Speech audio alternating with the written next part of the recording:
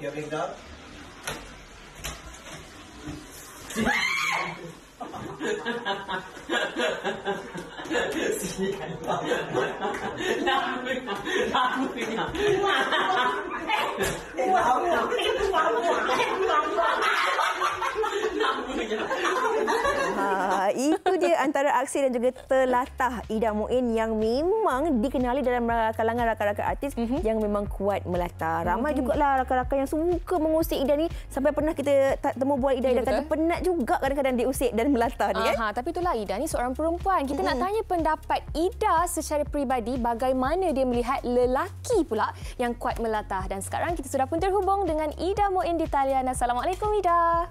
Waalaikumsalam. Sihat ke tu? Oh, nampak ni. Alhamdulillah.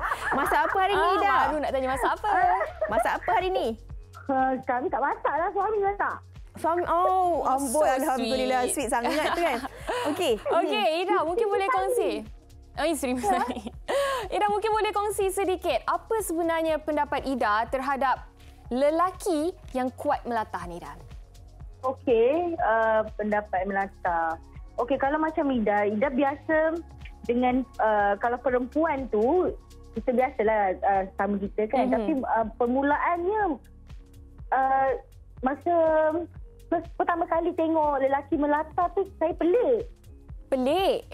Ha, Kenapa Sebab, pelik? sebab apa tu? Ha okey. Um, tak tahu sebab bila bila macam mana eh? sebab Ida Masa tu Ida perasan hanya wanita saja, hanya Mhm. perempuan saja yang melata. Mhm. Mas- Masa mula-mula saya menari dulu sebelum saya menyanyi, Mhm. uh, uh, masa saya menari dulu saya uh, saya dengan geng-geng saya ada few yang melata, yang perempuan saja. Jadi bila um, saya jumpa lelaki yang melata, saya saya macam pelik. Benda tu macam saya jadi ralat tengok. Oh. Ah, jadi bila ah jadi ralat. Jadi bila lama-lama tengok kan sampai sekarang sampai sekarang walaupun saya ada program yang melata-melata ada lelaki pun saya rasa macam ah, macam mana lelaki ni melata? Dia Mhm. macam macam keadaan tu macam weird tau macam Okey. Um, Ida ada tak Ida merasakan bahawa sesuai dengan topik kita hari ini Ha. kan benarkah sebenarnya kalau kita lihat seorang lelaki itu yang kita lihat kebiasaannya dari segi fizikal kadang-kadang kita tengok sadar Macho. macho kan Ha. tiba-tiba melatah pula adakah hilang macho seorang lelaki itu apa bila dia melatah itu yang Ida cakap pelik. Ida dah macam okey kita macam macam kita kenal kita jumpa dia mm-hmm. uh, kita, uh, sebab kita tak tahu dia melata kan bila bila tiba-tiba dia melata kan dia jadi macam memang ben- tak mana nak describe dia tu dia pelik dia pelik. Ida nak tanya dah juga kan um, sekarang ni suami tak melatah Tak. Pernah tak dulu kan sebelum mendirikan rumah tangga adalah pula di di orang kata ditackle ataupun Ha, ha. orang yang Didekati. mengora- ah Ha. didekati oleh lelaki yang melatah ni ke Ida memang tak tak berapa kena jadikan teman hidup tu tak berapa Memang nak tak lah. tidaklah ah, kan bukan dalam kriteria lelaki melatah ni kan jahanam lah hidup kalau kita melata dia melata kan nak ambil lah rumah aku berterabur.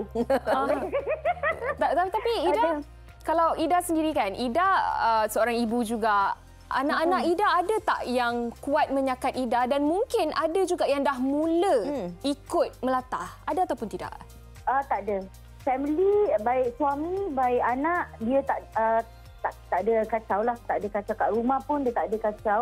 Adalah sekali lah anak tu sekali tu mungkin actually dia tak dia tak tahu sangat ibu dia ni melatah teruk. Hmm. Jadi bila dia tengok program yang melibatkan uh, uh, Ida Melata, jadi ada sekali tu dekat dekat dapur saya tengah tengah masak, dia sergah saya. Hmm. Jadi benda tu sangat membaikkan sebab saya pegang pisau. Hmm. Ah, pergi pegang pisau. Jadi apa yang dia dapat bukan dia dapat, uh, melatah sambil marah lah. Okey.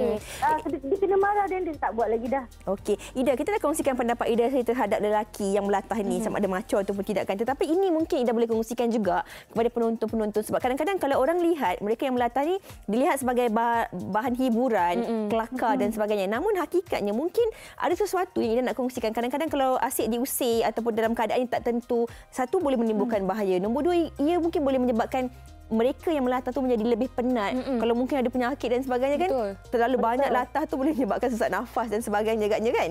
Okay, Ida boleh kongsikan. Betul. Uh, macam Ida, kalau macam bila kita uh, tengah relax-relax ataupun berjalan dengan family, tiba-tiba ada orang luar yang kita tak kenal kacau kita, kita jadi baran. Ah. Uh, Ida memang uh, bukan saya tak nak bersikap macam tu sebab kita tahu, kita faham kita public figure, Ah. orang suka tengok kita melata, orang happy. Normally kalau selalunya saya baca komen ke ataupun cakap, cute lah Kak Ida ini. Aha. Kita happy. Bila Kak Ida Kak Ida kita boleh gelak, kita hilang stres. Korang hilang stres, aku stres. Penat eh?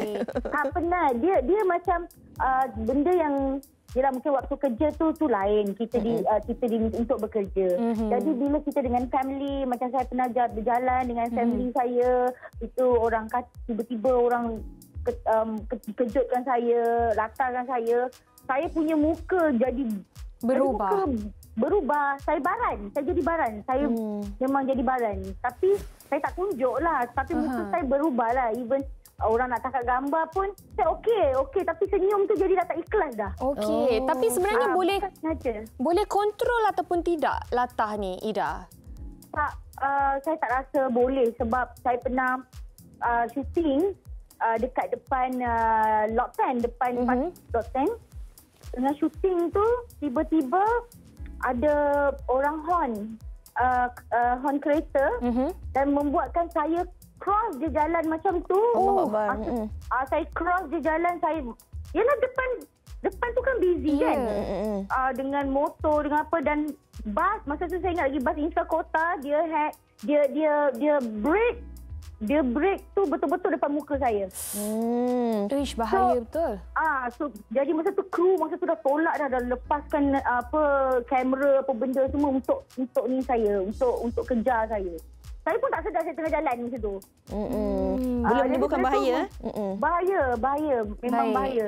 Ha, Okey. jadi saya tak rasa benda tu latah ni memang seronok tapi benda tu sedikit sebanyak membahayakan orang yang meng, mengga, yang mengacau tu dan diri kita sendirilah. Mhm. Ah, sebab dah tengok kadang-kadang masih dah tengok kalau lelaki kalau yang saya dapat tengok video-video tu Baik. kebanyakan lelaki dia lagi dia punya latah lagi aktif tau. Ah, lagi ekstrim juga Lagi sebenarnya. ek, yeah, lagi ekstrim. Jadi Ah, ha, ha. saya rasa, eh, ah, saya rasa saya teruk.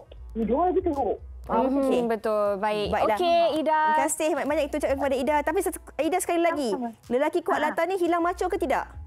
Hilang lah. Okey, terima Okey. kasih kita ucapkan Ya. kepada uh, Ida. Assalamualaikum Ida. Stay safe at home. Hati-hati ya, kirim Okey, salam itu. semua keluarga. Aha, rata-rata InsyaAllah, terima kasih. Ya, baik. Dan rata-rata orang mengatakan yang lelaki kuat melatah ni memang hilang macho. Hmm. Kalau Fiza? Tak pernah lagi ada pengalaman berkenaan dengan lelaki yang melatah. Tak tahulah. Okey. Minta-minta tidak lah kan. Ya, dan kita